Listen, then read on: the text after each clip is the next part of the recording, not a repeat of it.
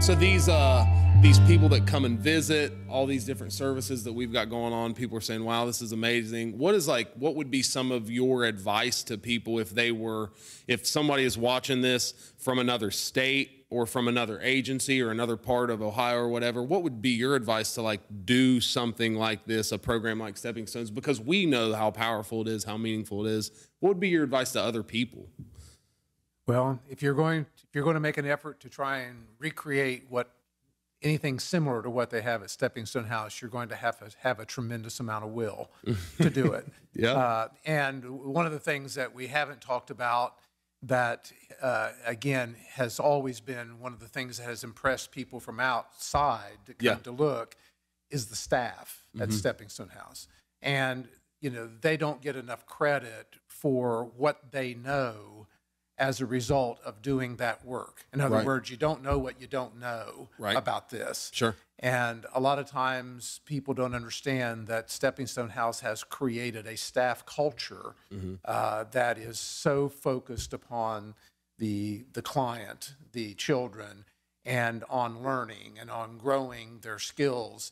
Uh, but a lot of it, you know, in terms of the quality of the staff, has come from them doing that job for a long period of time mm-hmm. and then passing it on to someone else. Yeah. That's what would make it so difficult Right. to do this anywhere else is mm-hmm. because you would not have you'd have to go through that whole process of creating a culture of excellence Right. with your staff. Right. Um, but again, it, it would be it would be a tall order to recreate what How they're do you doing. get to how do you get to chapter 15? You got to start at chapter you got to start at chapter one. You have to start with trying to cultivate, you know, people who want to do this work. Mm-hmm. And it wasn't easy for us. I mean, we went through a lot of staff in the first three or four years of the program Mm-hmm. uh, because people thought they would like to work in residential and then found out very difficult thing to do.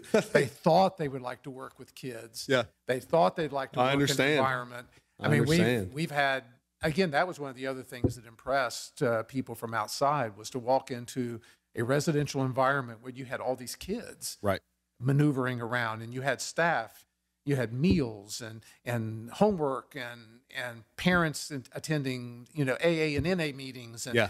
Just how to manage that culture so Yeah. that would be the beginning point would be if I we were looking to start this anyplace else and of course the counseling center probably will start this other Yeah, places absolutely. Yeah, that's you know. it, it will come down to how do you trans transfer that culture of excellence when it comes to staff how do you do that somewhere else Mm-hmm. Right. and how do you prepare yourself that there'll be people that'll come in that have excellent qualifications Mm-hmm. they have excellent skills but they can't they can't hang Right. with Yeah. this with this environment Yeah. uh, and uh, but to be able to look at the entire continuum of care, Mm-hmm. it's a it's possible to do it, but you would have to have a tremendous amount of will Yeah. to stick with it and work hard. Right. And that's I think what separated the counseling center from Sure. a lot of other agencies, at least around the state where I know, is that the level of effort that staff have been willing to put forward far exceeds what exists most places. Absolutely. Absolutely. So then uh effort, excellence. Two words that I absolutely see like crossover with into our uh agency and and just what's put forth every day and then it's transferred over into other programs right so any, anything you would add as far as like what advice you would give somebody that's trying to serve like the the moms or moms with kids or expecting mothers population in the substance use disorder world patience.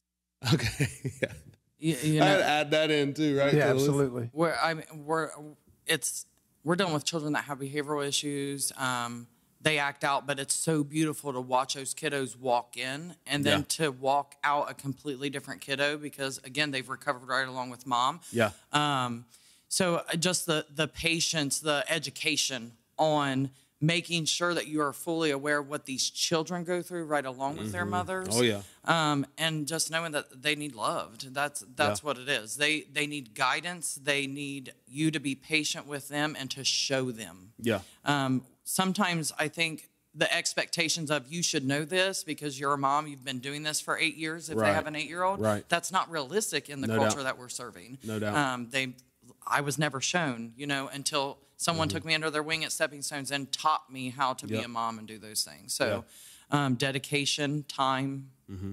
Yeah, that all that all goes hands in hand Yeah. with serving this population. Yeah. So then what's uh and this is for both of you guys, like what's what's next for stepping stones? Like what do we need? What needs to go on internally or what do moms need next? What's kind of on the horizon of things we're looking at to continue to get better for for moms and kids and families? Uh, more, Just more scale it up, right? more. Uh, unfortunately, there's more of a need for it. Yeah. Um, you know, they're hearing about us. There's more moms that have two children now instead of just one child now. Yeah. Uh, each child takes a bed, so it's just more. And that's a you can come into stepping stones with multiple children, right? Yes. Okay. Yeah. Yes, we, we take up to two children, um, up to the ages of 12 again. Um, we take moms that have no children, that just need education, just need help with meeting the goals of their reunification plan, or they have a safe place and they just need the education. We Right. do that too, Yeah. you know? Yeah, it's uh, definitely one of those things that um, how many when Stepping Stone started and had the first house, how many how many beds, how many people were we serving? We at that were a point in time? 16 bed facility, but that was based on how many kids were coming So in. you know you could have eight moms, eight kids. You could have four moms. Oh, yes, it's Jenga. yeah. That it Jenga, is. yeah, I yeah. play Jenga every day with admissions. Yeah. Sure.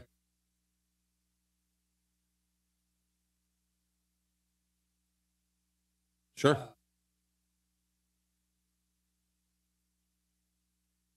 Mm-hmm. Mm-hmm. With mom, and then yep, yep.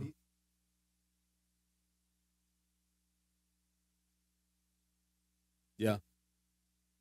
So then, from a 16 bed facility, do you know what your total bed count is right now? Like how many how many places you can offer moms and kids? 2.5 or 2.1? Both. Let's go both. Uh, we're about 60. Okay. total, from- and that's just clients. That's about sixty plus. Like I said, we served seventy kids last month, okay.